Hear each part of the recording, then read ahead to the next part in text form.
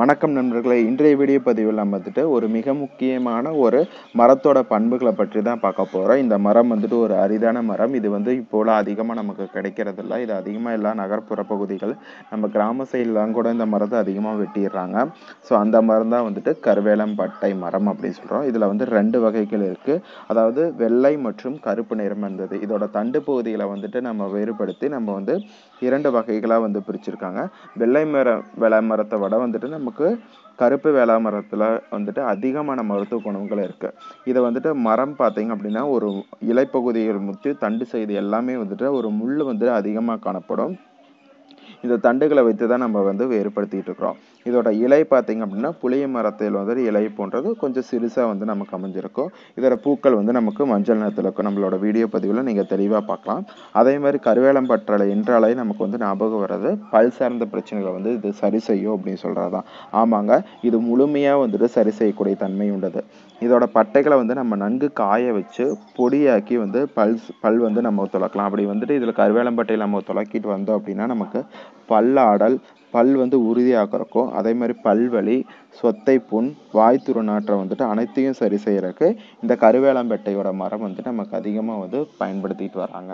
அது மட்டும் இல்லாமல் நம்ம கருவேலம்பட்டை வந்துட்டு நம்ம ஆலமரத்தோட விழுது மற்றும் இந்துப்பு சேர்த்து வந்து பயன்படுத்தினோம் அப்படின்னா வந்துட்டு பல்வலி வந்து ஏற்படாமல் வந்துட்டு தடுக்கிறதுக்கு இந்த கருவேலம்பட்டை வந்து நமக்கு அதிகமாக வந்து பயன்படுத்திட்டு வராங்க.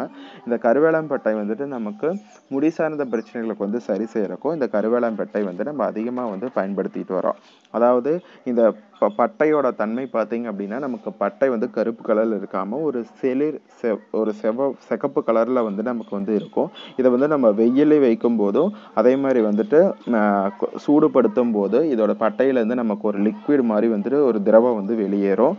ஸோ அதை வந்து நம்ம பார்க்கலாம். இப்போ நீங்கள் அடுத்ததான் நீங்கள் நம்மளோட பதிவில் நீங்கள் பார்க்க போகிறது என்ன அப்படின்னா நம்மளோட இந்த மரத்தை வந்து பட்டை நம்ம மட்டும் எடுத்து அதை வந்துட்டு ஒரு தேங்காய் தேங்காயில் நம்ம போட்டு நம்ம பயன்படுத்துகிறப்ப எந்த மாதிரி இருக்கும் அப்படிங்கிறதான் இந்த வீடியோ பதிவில் வந்துட்டு நீங்கள் பின்னாடி பார்க்க போகிறீங்க வாங்க பார்க்கலாம். இப்போ பார்த்தீங்க அப்படின்னா நான் வந்து ஒரு ஒரு நூறு எம்எல் தேங்காய் வந்து நான் ஊற்றிக்கிறேன் நூறு எம்எல் தேங்காய் இது வந்து சுத்தமான தேங்காய் வந்து நான் எடுத்துக்கிறேன். அதே மாதிரி கருவேலம் பட்டை வந்துட்டு ஒரு நாலு அல்லது அஞ்சு பட்டைகள் சிறு சிறுதாக வந்துட்டு நம்ம கட் பண்ணி வச்சுருக்கக்கூடிய இந்த பட்டை வந்து நான் போட்டுறேன். இதை வந்து நம்ம வெயிலில் வந்து ஒரு அஞ்சு நாட்கள் வச்சிங்க அப்படின்னா நமக்கு வந்துட்டு ஒரு சிவப்பு கலரில் வந்துட்டு இந்த எண்ணெய் வந்து மாறும். அடுத்ததாக பார்த்தீங்க அப்படின்னா இந்த அதே நூறு அளவுக்கு எண்ணெய் எடுத்து நம்ம வந்து இதை வந்து ஒரு பட்டைகளை வந்து பயன்படுத்தி ஒரு ஒரு அஞ்சுலேருந்து பத்து நிமிஷம் நம்ம கொதிக்க வச்சோம் அப்படின்னா அந்த பட்டையில் இருக்கக்கூடிய சிவப்பு நிறம் வந்து எண்ணெயோடு வந்து நமக்கு கலந்துரும். இதை வந்து நம்ம தலைக்கு சேர்த்தோம் அப்படின்னா முடி சார்ந்த பிரச்சனை அனைத்துமே வந்துட்டு சரியாகும்.